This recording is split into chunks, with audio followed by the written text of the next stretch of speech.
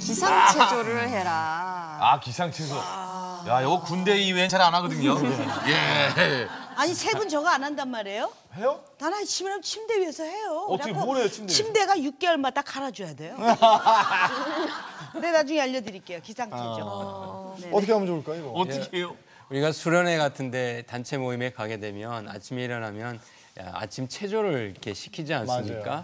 예, 그런 것처럼 개인적으로도 아침에 눈이 떠지시면 이불에서 그냥 음, 일어나기가 어려우니까 일단 손과 발 쪽을 움직여 주시는 거죠. 손을 턴다든지 다리를 떨군다든지 이런 동작들을 반복하면서 어, 점점점 이렇게 순환이 잘 돼서 온도가 상승될 수 있는 조건을 만들어 주시는 것이 예, 그, 이 우리 일상 내용에 잘 적응할 수 있는 방법이 될 것입니다. 그리고 저 같은 경우에는 이제 이렇게 누워서 아까 운동한다 그러잖아요. 예. 침대 에 누웠다가 폴더 접듯이 그거 접는 거래요 이렇게.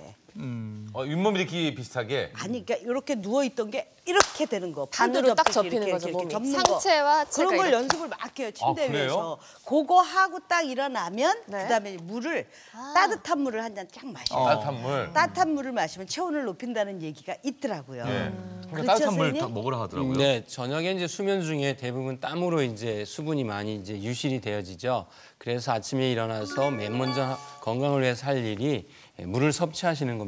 그렇게 되면 혈액 순환이 좀 더 원활히 되게 되고요. 또 물을 드심으로 해서 아, 다음에 먹을 아침 식사라든지 이런 내용들이 잘 흡수가 될 수 있어서 어, 그런 내용이 건강에 도움이 되는 것이죠. 그럼 아침에 이 정도만 하면 되는 겁니까? 저는 또 한 가지를 추천해드리고 싶은데요. 바로 온맵시입니다. 예? 옷맵시 아니고 온맵시입니다. 온? 온? 네. 요즘 같은 추울철에도 우리가 이제 멋을 또 포기할 수 없기 때문에 굉장히 가볍게 얇게 옷을 입는 분들이 많은데 사실 질병관리본부 보고에 따르면 우리가 내복을 입는 것만으로도 한 2.5도 정도 체온을 좀 더 올려주는 효과. 가 있다고 합니다. 그래서 우리가 보통은 옷을 좀 따뜻하게 입어주시는 것이 훨씬 더 도움이 되실 수가 있고요. 온맵시를 위해서 내복을 입는 것 플러스 양말을 또 신게 되면 우리가 발을 통해서 굉장히 열 손실이 크거든요. 그래서 훨씬 더 체감 온도를 높일 수 있는 하나의 방법이다라고 볼 수 있습니다. 네.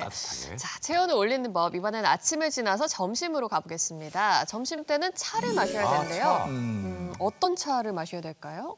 보통 우리가 식사를 하고 나서 이제 커피 같은 것들을 많이 드시는 이런 성향이 있는데요. 어, 우리 몸에 이제 체온을 높여줄 수 있는 차로서 선택할 수 있는 것들이 쑥차를 좀 권할 수가 있습니다. 아 요거예요? 예, 이런 내용을 이제 드시게 되면 온몸의 이 혈액을 따뜻하게 해서 혈액 순환을 아주 잘 시켜주는 그런 효능을 갖고 있습니다. 그래서 이런 음료 같은 걸 선택해서 드시는 걸로 이렇게 계속 업무적인 내용으로 움직이지 않아서 체온이 떨어진 내용들을 좀 회복시키는 방법으로 사용할 수 있을 것입니다.